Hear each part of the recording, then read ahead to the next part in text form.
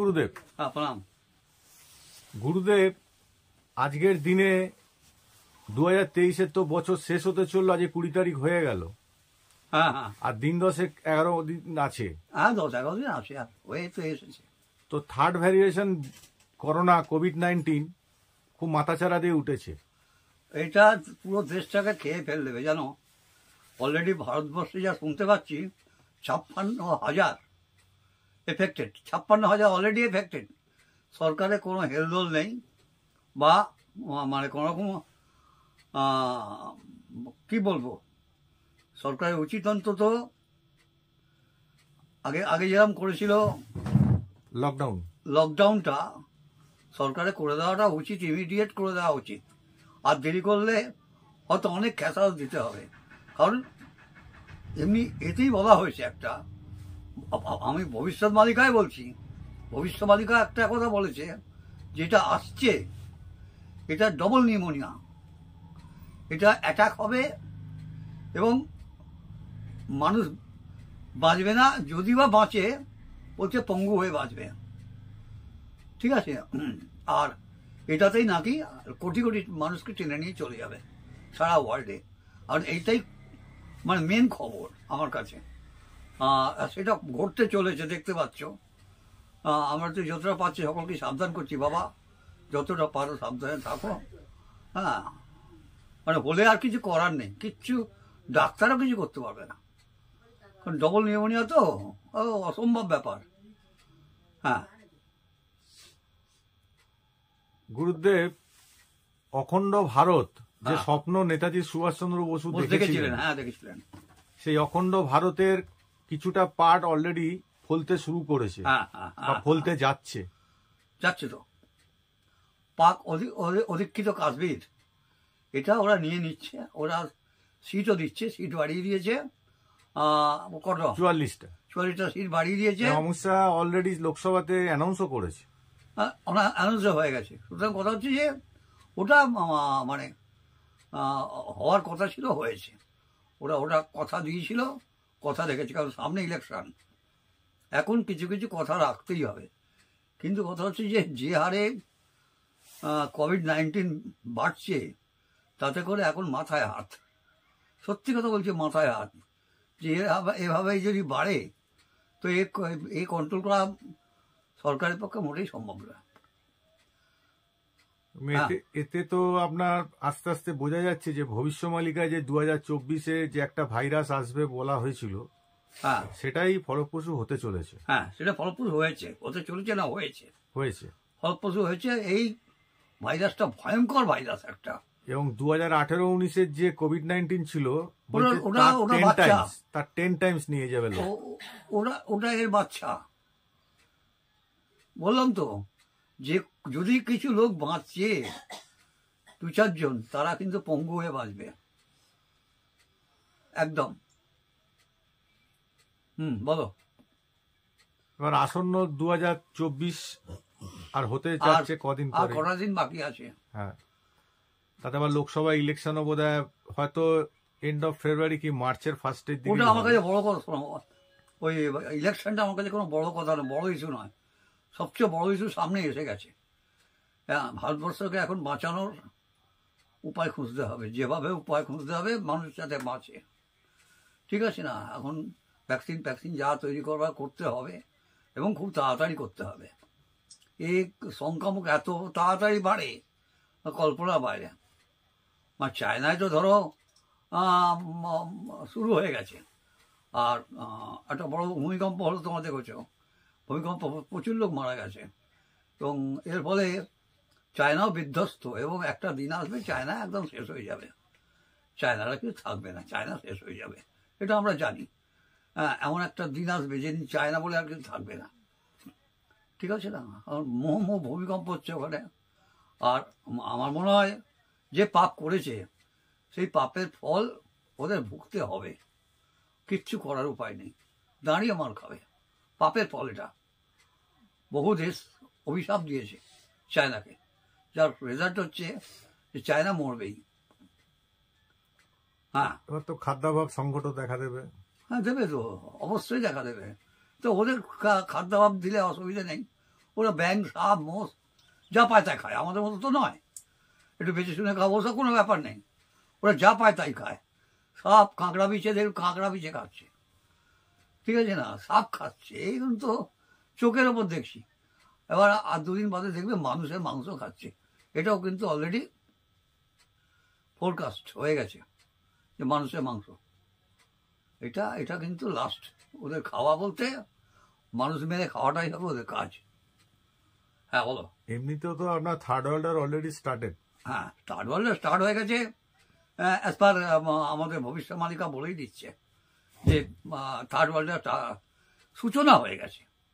এবং এটা যে কী ফলপ্রসূ হবে, কীভাবে কি মানে বাড়বে, সেটাই আশ্চর্য ব্যাপার।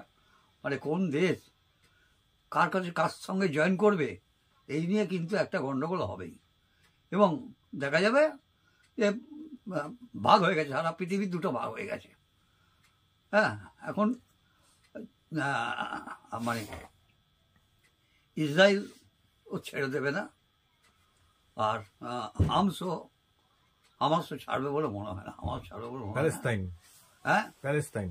প্যালেস্টাইন আর কি ছাড়বে বলে মনে হয় না। সুতরাং এটা আমাদের একটা দুর্ভাগ্য যে আমরা যুদ্ধটা তৈরি করলাম। অর্থাভাবে তো পাকিস্তান তো পরমাণু বোম বিক্রি করছে প্যালেস্তাইনকে। চব্বিশে তো মানে পরমাণু বোমা পড়বে মানে ইট কাঠ পাথরের মতো। এত বোমা পড়বে। মিডল ইস্ট শেষ হবে ওদিকে ইউরোপ কান্ট্রিও শেষ হবে। একদম একদম একদম একদম বলতেই পারো। বলতেই পারো। আমেরিকার অস্তিত্ব থাকবে না এতটা থাকবে না না। কমে যাবে। সেও কমে যাবে আস্তে আস্তে আস্তে আস্তে। বলো আর এটা ঠিক বলেছ তুমি। আমেরিকা অস্তিত্ব থাকবে বলে মনে হয় না। হ্যাঁ। মানে সেই একটাই কথা ভারত আবার জগৎ সভায় শ্রেষ্ঠ আসল লবে। কিন্তু ভারতের ওপরেও ওপরেও ভারতের ওপরেও অ্যাটাক হবে। প্রচুর অ্যাটাক হবে। ইওকে যখন ইন্ডিয়া হাত দেবে তখন সঙ্গে সঙ্গে হবে না। কিন্তু কদিন পরে কিন্তু চায়না পাকিস্তানকে সামনে রেখে যুদ্ধ করবে। করতেই পারে। এবং তার সাথে আরও কিছু মুসলিম কান্ট্রি অ্যাড হবে। হ্যাঁ হ্যাঁ হ্যাঁ পনেরোটা। পনেরোটা। পনেরোটা মুসলিম কান্ট্রি একদিকে হয়ে। যাবে। এবং মানে ওরা লাস্ট পর্যন্ত ওরা ধর্মবিদ্বেষী তো। ওরা আমাদের এখানকার মন্দিরগুলো ভাঙবে। চেষ্টা করবে ভাঙার চেষ্টা করবে যেমন কালী কালীঘাটে কালী যেমন ধরো তারাপীঠের তারা যেমন ধরো দক্ষিণেশ্বর। এবং এগুলো ওরা চেষ্টা করবে ভেঙে ফেলে দেওয়ার। আপ্রাণ চেষ্টা করবে এখন সরকার বাঁচাতে পারবে কিনা জানি না। আমাদের ভারতবর্ষে সরকার বাঁচাতে পারবে কিনা জানি না। সরকার পারবে কিনা জানি না তবে ভারতবর্ষের আর্মি হ্যাঁ। যেভাবে এখন অ্যাক্টিভ হয়ে উঠেছে হ্যাঁ। এখন পৃথিবীর যে কোনো কান্ট্রিকে চ্যালেঞ্জ করতে পারে। সেটা বলতেই পারো এটা না করছি না। এবং দ্বিতীয় কথা হচ্ছে কি তারাই প্রোটেক্ট করবে ভারতকে এবং ভারতকে অনেক উঁচু জায়গায় তারা নিয়ে যাবে। আপনি যে বললেন যে জগৎ সভায় ভারত আমার শ্রেষ্ঠ আসন লবে এটা রবীন্দ্রনাথ ঠাকুর লিখে গেছিলেন। ধর্মে মহান হবে কর্মে মহান হবে। নব দিনমনে উদিবে আবার পুরাতন পুরবাগে এটা বাস্তব সত্য হতে চলেছে। আজও গিরিরাজ রয়েছে প্রহরী। ঘিরি তিন দিক নাচিছে লহরী। যায়নি শুকায় গঙ্গা গোদাবরী। এখনও অমৃত বাহিনী। বলো বলো বলো সবে। শতবিন হবে বেনু রবে ভারত আবার জগৎ এটা একটা বিরাট ব্যাপার। এটা কীভাবে লিখেছেন জানি না। মানে এটা থাড়াই। থাড়াই থেকে লিখেছিলেন। দেখুন কীরকম ভাবে মানে মিলে যাচ্ছে দেখুন নতুন সংসদ তৈরি করল প্রায় এগারোশো সিটের। হ্যাঁ। কি ভেবে করেছে? এবং ভারতবর্ষের একটা যে পুরনো মানচিত্র ছিল অখণ্ড ভারতে সেটা আবার ওখানে লাগানো হয়েছে। লাগানো হয়েছে তো লাগানো হয়েছে আপনার বার্মা আছে ইন্দোনেশিয়া আছে বাংলাদেশ আছে হ্যাঁ, শ্রীলঙ্কা হ্যাঁ, আছে ভুটান আছে নেপাল আছে আফগানিস্তান আছে। সার্ক পুরো সার্কটাই আছে। পুরোটাই আছে। পুরো সার্কটাই আছে সার্ক তাহলে এটা পূর্ব পরিকল্পিত একটা স্বপ্ন ভারতবর্ষে নেতাজি দেখেছিলেন? হ্যাঁ। আজকে সেটা বাস্তবায়িত হতে যাচ্ছে। হ্যাঁ এর- জন্য অনেক রক্ত আমাদের দিতে হবে। অবশ্যই কোনো বললেই মানে প্রচুর ভারতকে এ করবে। কিন্তু কথা হচ্ছে যে ভারত কিন্তু তেত্রিশ কোটি দেশ মানে আগে যেটা ছিল তেত্রিশ কোটি দেওয়া মানে ভারতবর্ষের স্বাধীনতার সময়। স্বাধীনতা তেত্রিশ কোটি মোড়া নয় এই হতে পারে দিন তো নয় মরাই ভারত গগনে পুনঃ উদবি উদিবে সুদিন। ওই দেখো প্রভাত উদয়। নানা ভাষা নানা মত নানা পরিধান বিবিধের দেখো মাঝে মিলন দেখো মিলন মহান। আর এই যে কথাগুলো লিখে গেছে এগুলোর সত্যতা আছে এবং এগুলো কার্যকারী হবে তবে হ্যাঁ, মানুষ তো মরবেই। একশো আমাদের এখন একশো দশ কোটি লোক বোধ হয়। একশো পঁয়তাল্লিশ। একশো পঁয়তাল্লিশ কোটি লোকের মধ্যে থাকবে তেত্রিশ কোটি। তেত্রিশ কোটি থাকবে বাকিটা মারা যাবে। এবং সারা পৃথিবীতে এত লোক থাকা সত্ত্বেও তেত্রিশ কোটি লোক থাকবে। হ্যাঁ। তখনকার দিনে যা ছিল তাই থাকবে। হ্যাঁ হ্যাঁ হ্যাঁ হ্যাঁ। যাক গুরুদেব সামনে আমরা এখন ফেস করতে চলেছি কোভিড নাইন্টিন থার্ড ফেস একদম প্রথম।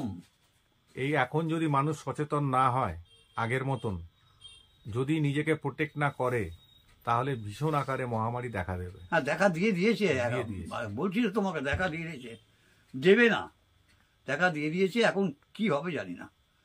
সরকার কি করবে? সরকারের ব্যাপার, ব্যক্তিগত ব্যাপার, এটা বলতে পারছি না। তবে এই যে একটা ব্যাপক আকারে আসছে মহামারী রূপে, এটা বোঝা যাচ্ছে। এবং এটা হলে মানুষ বাঁচবে না।